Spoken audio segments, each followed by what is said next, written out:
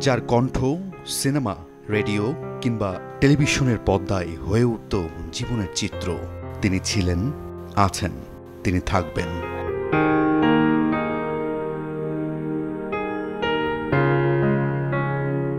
Cinema কিংবা জীবনের বাকে, আধুনিক, নজরুল লোকসঙ্গীত ও মাটি মানুষের গান দিয়ে যার পরিচয়, রূপালী পদ্মায় যার গানের অবদান অপরিসীম।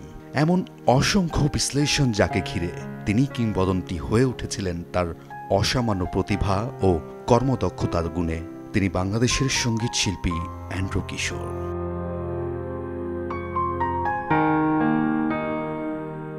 উনিশশো উনসত্তর সালে এজে মিন্টুর প্রতিজ্ঞা সিনেমার একচোর চাই চলে গান গেয়ে বাংলাদেশের চলচ্চিত্রে এক অপরিহার্য নাম হয়ে ওঠেন সুরের জাদুকর অ্যান্ড্রু কিশোর। বাংলা চলচ্চিত্রে পনেরো হাজারের বেশি গান গেয়েছেন এই গুণী শিল্পী।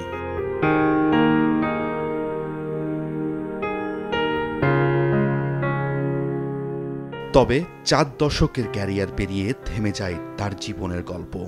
দীর্ঘদিন ক্যান্সারের সাথে লড়াই করে দুই হাজার বিশ সালের ছয় জুলাই না ফেরার দেশে চলে যান দেশের উত্তর জনপদে জন্ম নেয়া ভরাট কণ্ঠের শিল্পী অ্যান্ড্রু কিশোর।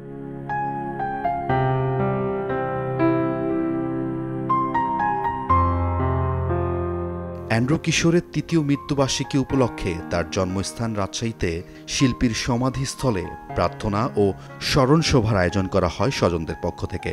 অ্যান্ড্রু কিশোরকে পরবর্তী প্রজন্মের কাছে বাঁচিয়ে রাখতে এই গুণী শিল্পীর নামে স্টার গ্যালারি অথবা সংগীত বিদ্যালয় নির্মাণের দাবি জানান পরিবারের সদস্যরা।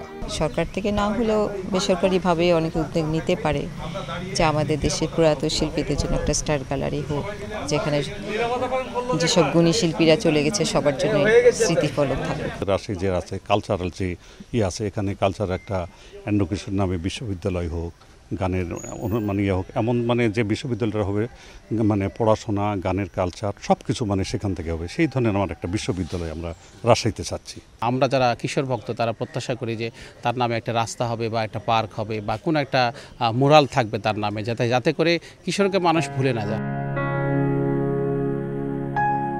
চলে যাওয়া মানে মুছে যাওয়া নয়। তিনি থাকবেন সকলের হৃদয়ে চিরজাগ্রত হয়ে।